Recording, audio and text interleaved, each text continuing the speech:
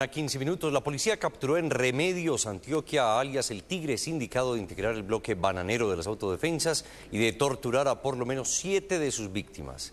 Natalia Acevedo, Medellín, buenos días. Muy buenos días. Alias El Tigre fue interceptado por las autoridades en el municipio de Remedios Nordeste de Antioquia. Se desempeñó como segundo al mando del bloque bananero de las autodefensas. Se desmovilizó pero continuó delinquiendo.